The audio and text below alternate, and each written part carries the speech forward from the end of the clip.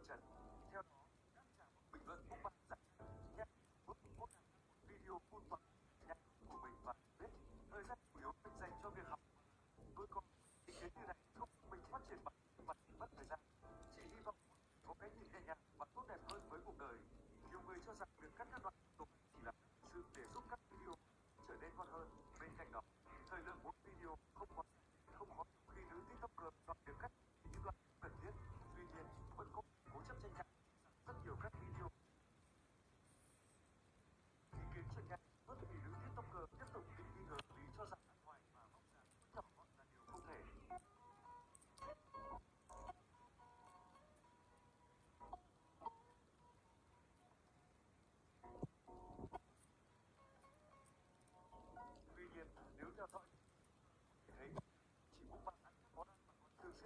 꼭꼭 잡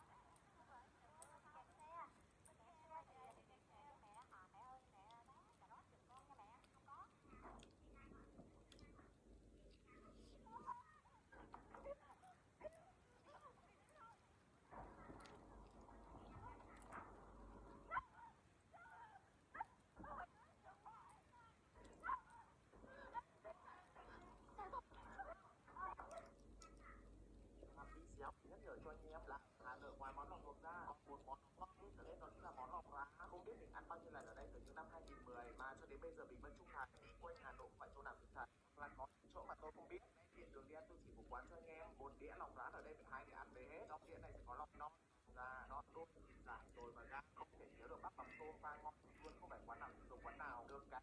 đấy vì sự sạch sẽ ăn ngon không bị đảo buồn được. Thì ăn lòng luộc thì ăn món này thì dễ lắm. Đặt bằng ra đây ăn thì một tiếng là muốn quay lại tiếp ngay mà làm tôm đấy không bị mặn đâm và chấm đâm ăn nó mới đã lát ra thì gọi cho một đĩa độ lòng ăn cùng anh hơi hay nhưng mà quần lắm lòng thì ăn ra tiền không bị đáng đoạn đốt ra thì ăn giọt ngon nhưng mà tôi không phải lòng thì dành cùng em món đất nướng đậm ướp đậm vị ngọt nhất cái này đậm được nướng qua than nhưng bị xém đặc trưng món này thì thơm mùi khó mùi ngọt xa rượu mạnh